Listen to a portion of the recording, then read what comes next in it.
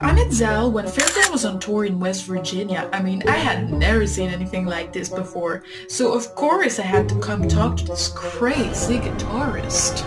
And we had such a lovely conversation, you know. We just had so much in common. Things like balloons, big shoes, and uh, the color red, you know.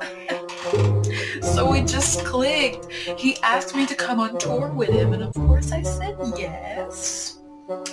And then the following year we got married, you know?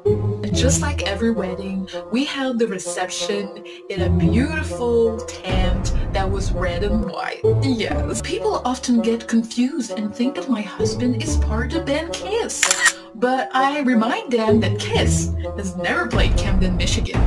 But my husband has.